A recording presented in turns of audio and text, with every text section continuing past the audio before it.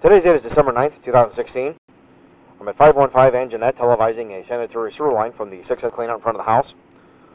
I ran the camera up to the cast iron and uh, right here the uh, clay line is damaged as we go into the cast iron. I tried to locate this, but it's underneath the chimney on the exterior of the house. Uh, go and record as I come back.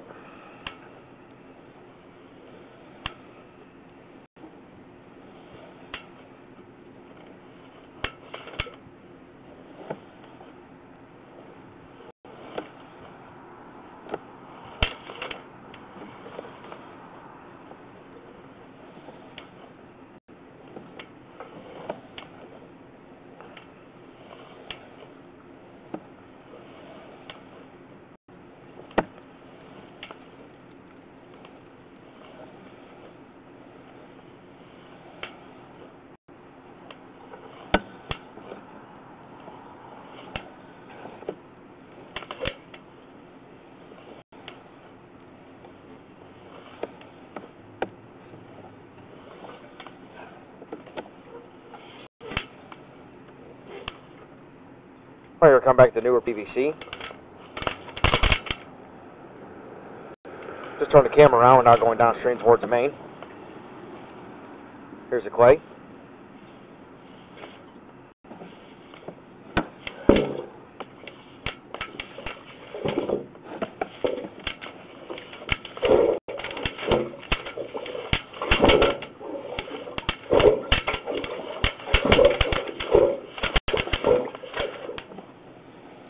Right now I'm hitting something in the line.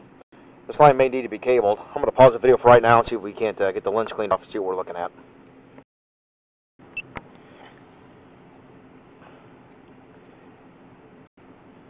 Tried to cable the line, but I just immediately hit mud when I got to that spot. I got it located out uh, between the cleanout and the sidewalk. It'll need to be dug up and repaired. The sewer's about six foot deep. This concludes the videotaping of this sewer.